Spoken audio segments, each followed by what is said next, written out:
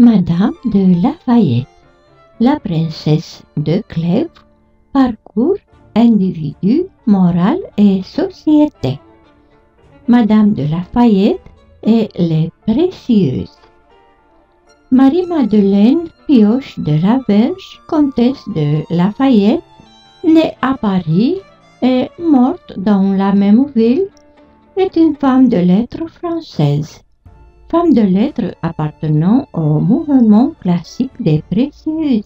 Elle est née dans une famille aisée de petite noblesse qui gravite dans l'entourage du cardinal de Richelieu. Madame de Lafayette figure dans le Grand Dictionnaire des précieuses, paru en 1661 sous le pseudonyme de Féliciane. Elle est décrite comme civile, obligeante et un peu rayeuse, en faisant partie des femmes avant-gardistes et souhaitant être reconnues pour l'intelligence. Les précieuses sont assidûment courtisées. La première et la plus évidente des marques de préciosité dans le roman est l'importance accordée au thème de l'amour et la forme que prend ce dernier. Les salons précieux, en effet, se nourrissent de discussions sur l'amour dans le but de résoudre des cas typiques, par exemple, une femme doit-elle céder à son amant? L'amour est un thème central du mouvement précieux. Autre manifestation de la préciosité, la princesse de Clèves et le duc de Nemours représentent en quelque sorte l'idéal précieux. Beaux, intelligents et gracieux, ils sont appelés à être au-dessus des autres humains. En somme, ils concentrent en eux toutes les qualités nécessaires à l'amour idéal, l'amour pur. Cela dit, l'amour précieux demeure généralement malheureux, comme celui qui unit la princesse et le duc. Madame de Lafayette était une grande partisane de l'amour chaste, fuyant la passion aussi dans ses écrits. Voici comment elle est vue et caractérisée par de grandes figures de la littérature. Boileau. Madame de Lafayette est la femme qui écrit le mieux et qui a le plus d'esprit. Elle se démarque brillamment par son caractère courtois ainsi que sa vigilance. Voltaire. Sa princesse de Clèves et sa Zaïde furent les premiers romans où l'on vit les mœurs de l'honnête Jean et des aventures naturelles décrites avec grâce. Avant elle, on écrivait d'un style emboulé des choses peu vraisemblables. Voltaire, le siècle de Louis XIV. Albert Camus. Sa simplicité réelle est dans sa conception de l'amour. Pour Madame de Lafayette, l'amour est un péril. C'est son postulat.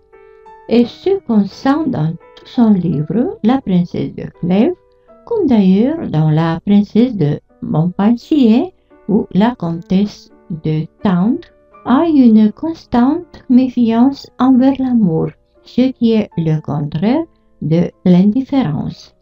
Albert Camus, Carnet. Morio. Tout en elle nous attire la rare distinction de son esprit, la ferme droiture de ses sentiments et surtout peut-être ce que nous devinons au plus profond de son cœur, une France cachée qui a été la source de son génie. Morio, le roman du XVIIe siècle. Les œuvres de Madame de Lafayette sont La princesse de Montpensier, Zaïd, Histoire espagnole, La princesse de Clèves, roman et nouvelle, La comtesse de Tende, Histoire de Madame Henriette d'Angleterre, première femme de Philippe de France, duc d'Orléans. Mémoire de la Cour de France, lettre de Madame de Lafayette à Madame de Sablé. Résumé. L'histoire se déroule à la cour du roi Henri II, de son successeur François II. Mademoiselle de Chartres est une jeune fille de 16 ans qui arrive à la cour du roi Henri II. Le prince de Clèves tombe amoureux d'elle, mais ce sentiment n'est pas partagé. Il se marie pourtant. Elle tombe amoureuse du duc de Nemours, mais leur amour serait illégitime puisqu'elle est mariée. Afin d'éviter de le revoir, elle se retire de la cour et avoue sa passion à son mari. Celui-ci meurt de chagrin. Elle décide alors de se retirer dans un couvent. La première partie commence avec la description de l'univers de la cour de France dans les dernières années du règne d'Henri II, époque où la magnificence et la galanterie n'ont jamais paru avec tant d'éclat. Madame de Lafayette brosse un portrait d'une cour emplie d'hypocrisie et de faux semblants.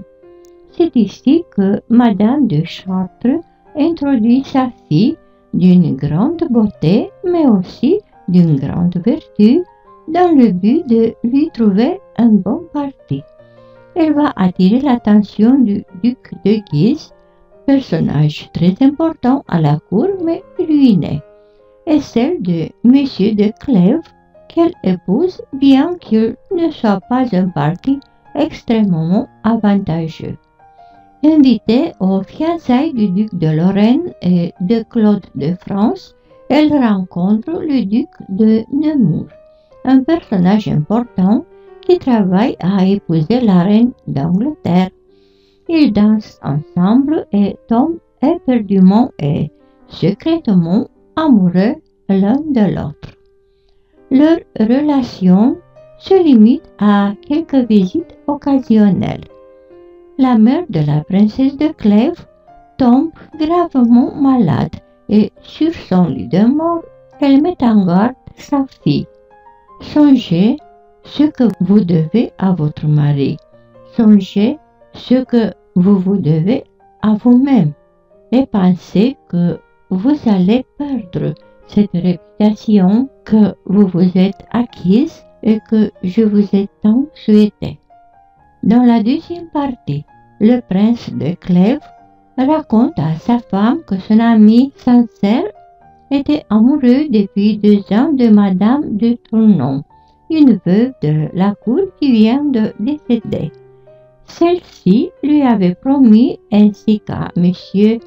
d'Estouteville, de l'épouser en secret. À la mort de Madame de Tournon, Sancerre est fou de douleur, d'autant plus qu'il découvre cette liaison secrète que Madame de Tournon et M. d'Estouteville entretenaient parallèlement à sa liaison avec elle. Monsieur d'Estouteville lui laisse quatre lettres que Madame de Tournon lui avait écrites, des lettres pleines de tendresse et de promesses de mariage. Le prince répète à Madame de Clèves le conseil qu'il a donné à Sancerre. La sincérité me touche d'une telle sorte que je crois que si ma maîtresse et même ma femme m'avouait que quelqu'un lui plut, j'en serais affligée sans en être écrit. Je quitterai le personnage d'amant ou de mari pour la conseiller et pour la plaindre. Madame de Clèves retourne à Paris et se rend compte de l'amour que lui porte le duc de Nemours puisque celui-ci a renoncé à ses prétentions sur la couronne d'Angleterre pour elle. Elle sait qu'elle doit apprendre à cacher ses sentiments et contrôler ses actes. Lors d'un tournoi, le duc de Nemours est blessé et Madame de Clèves ne se préoccupe que de lui, ce qui montre à ce dernier sa passion. Après cela, la reine Dauphine lui confie une lettre qui serait tombée de la poche du duc de Nemours que lui aurait écrit une de ses supposées amantes. Madame de Clèves est folle de douleur et de jalousie, croyant que le duc de Nemours aurait quelques passions secrètes. Dans la troisième partie, le vidame de Chartres, qui est venu trouver le duc de Nemours chez lui, lui avoue que cette lettre lui appartient et vient lui demander de l'aider à cacher cela.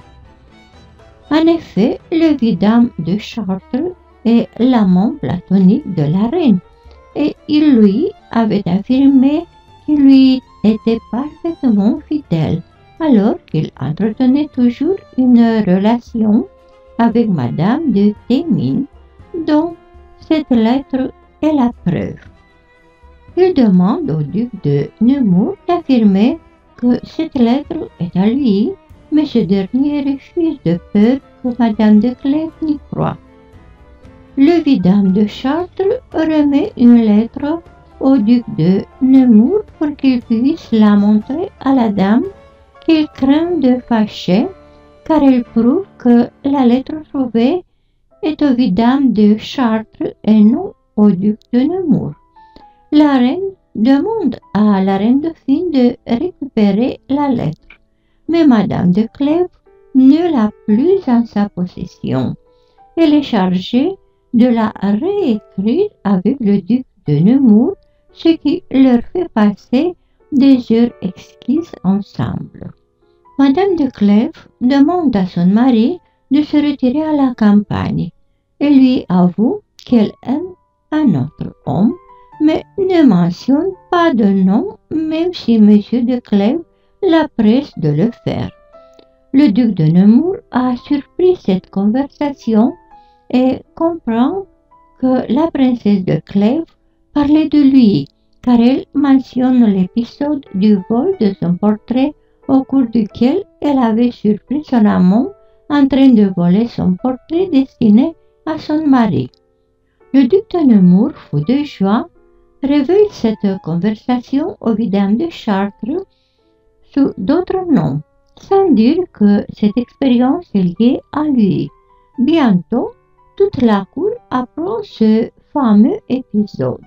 La princesse de Clèves, au comble du désespoir, le dit à son mari et le soupçon d'avoir raconté son aveu pour pouvoir découvrir l'identité de son rival. Ignorant l'indiscrétion du duc de Nemours, ils s'accusent mutuellement d'être à l'origine de cette rumeur.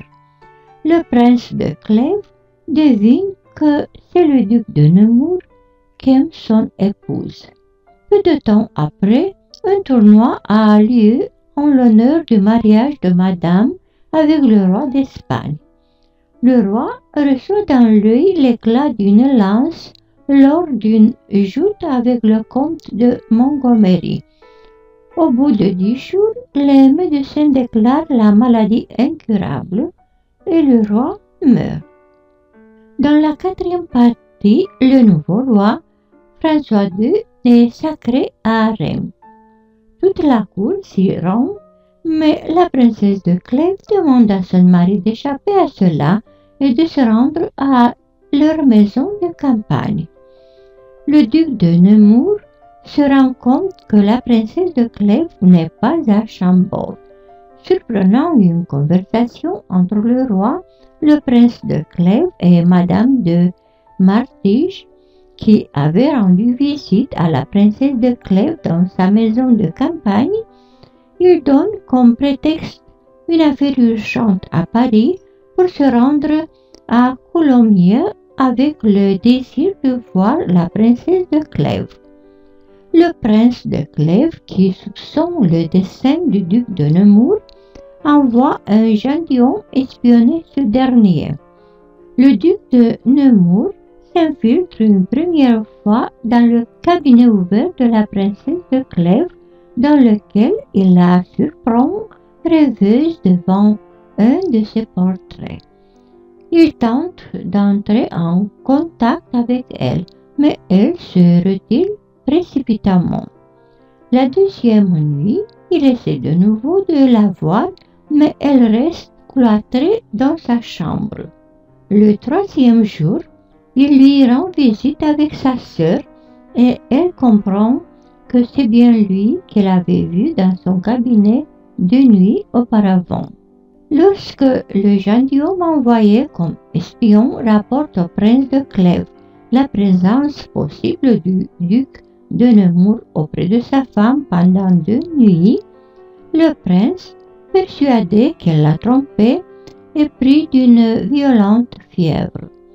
La princesse de Clèves revient à Blois après avoir appris son état inquiétant. Elle a une dernière conversation avec son mari agonisant, lors de laquelle elle nie toute liaison avec le duc de Nemours. La vertu la plus austère ne peut inspirer d'autre conduite que celle que j'ai eue. Et je n'ai jamais fait d'action dont je n'eusse souhaité que vous eussiez été témoin. Il la croit, lui pardonne et meurt. Après la mort de son mari, la princesse de Clèves se retire à Paris dans la solitude, refusant toute visite et se tenant éloignée de la vie de la cour.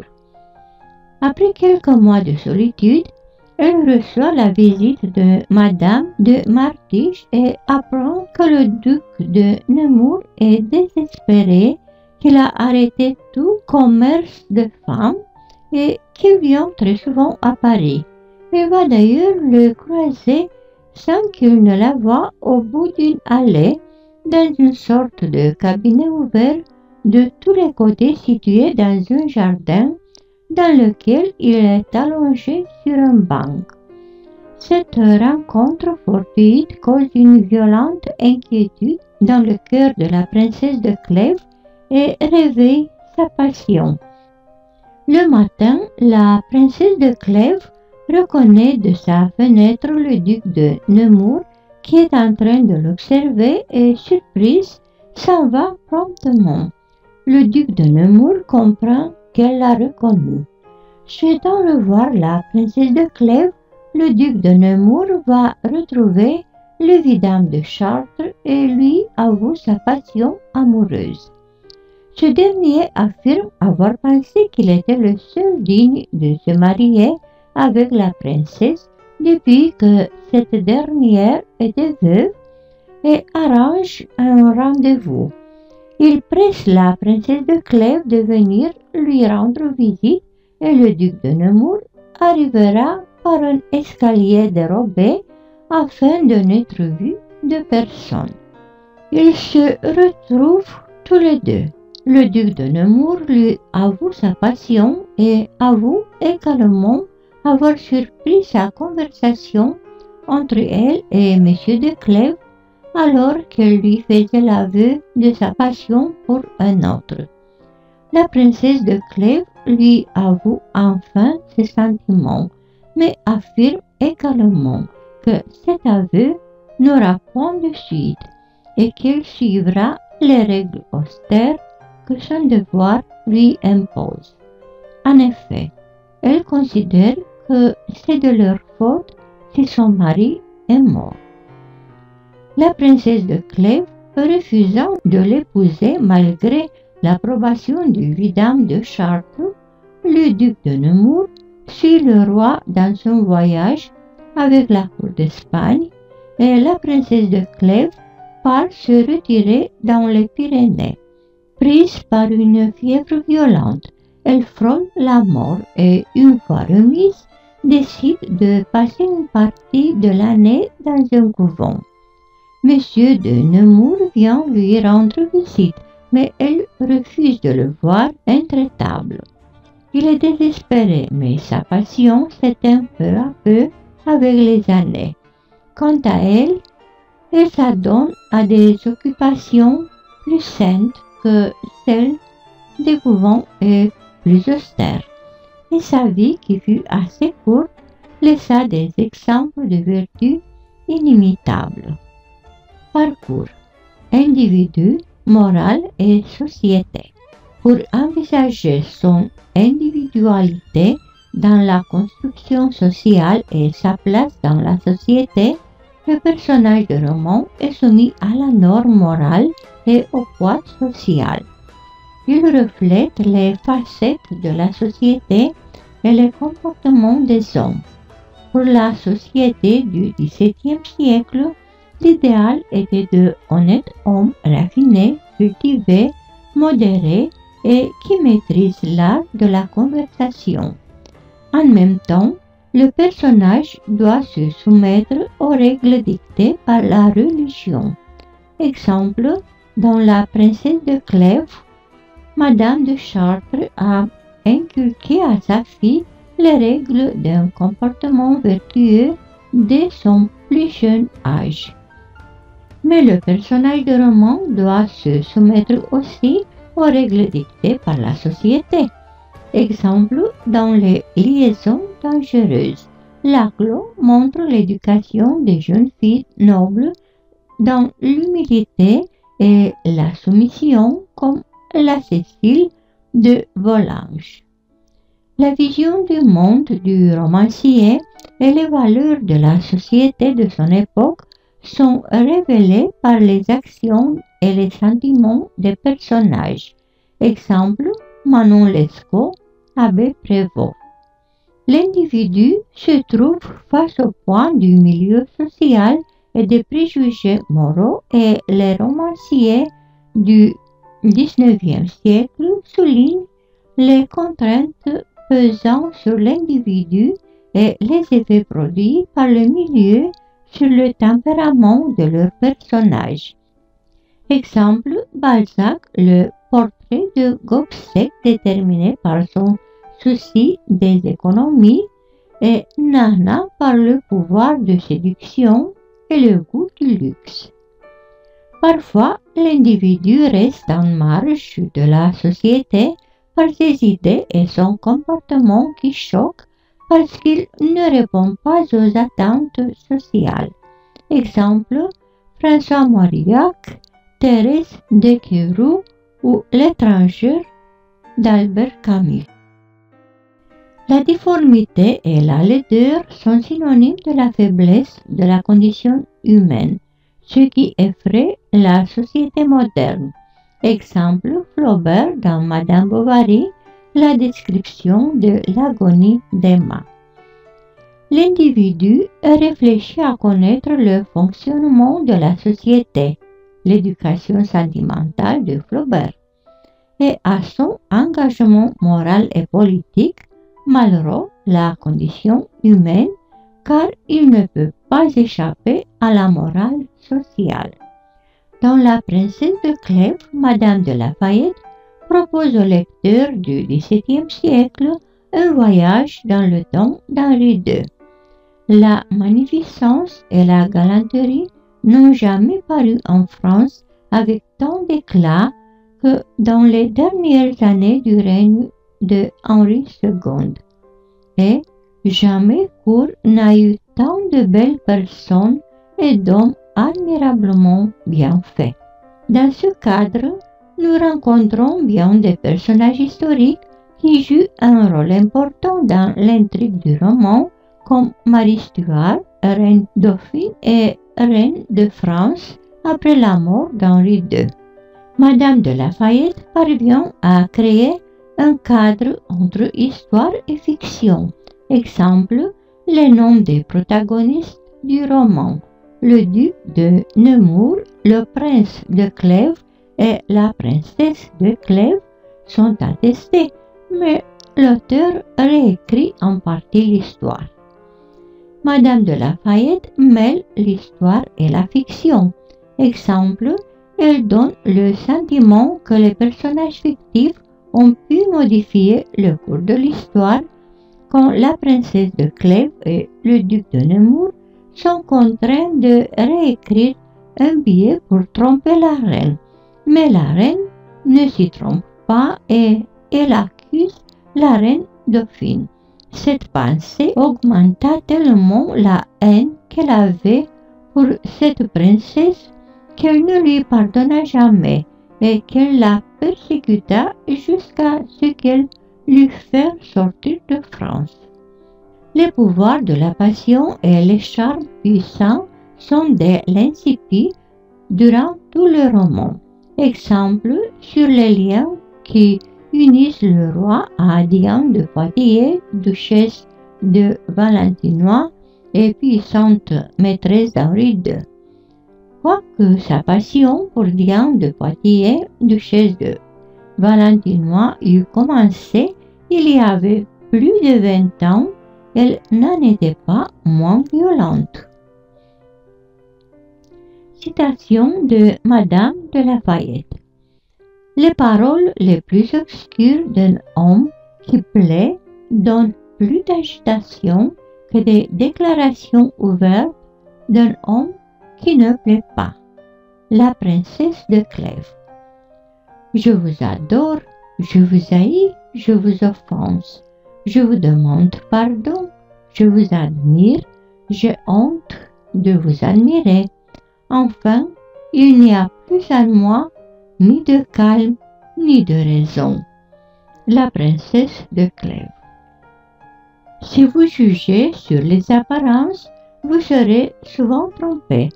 Ce qui paraît n'est presque jamais la vérité. La princesse de Clèves.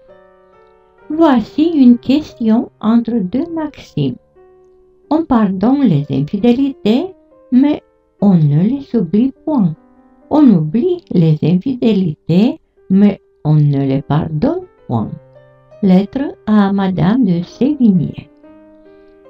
On fait des reproches à un amant, mais en fait-on à un mari quand on n'a qu'à lui reprocher de n'avoir plus d'amour La princesse de Clèves.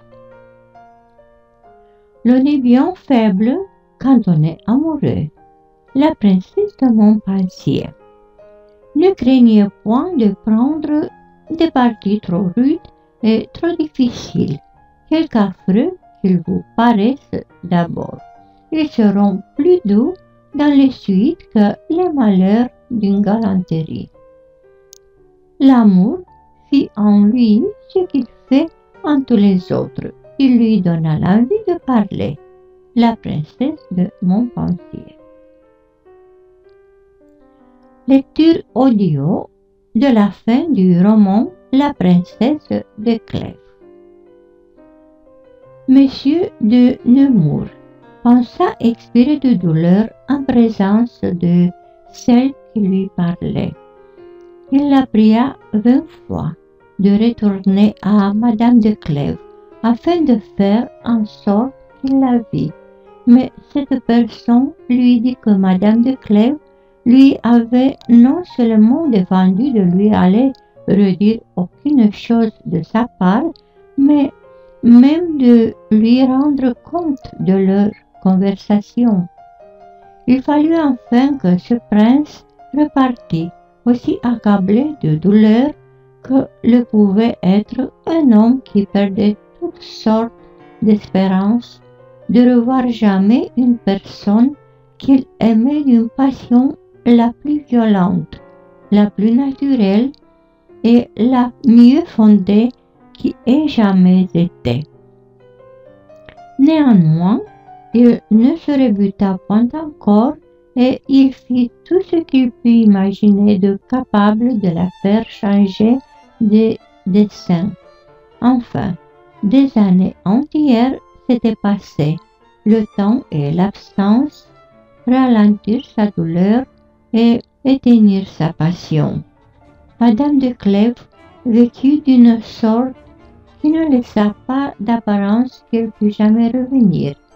Elle passait une partie de l'année dans cette maison religieuse et l'autre chez elle, mais dans une retraite et dans des occupations plus saines que celles des couvents les plus austères.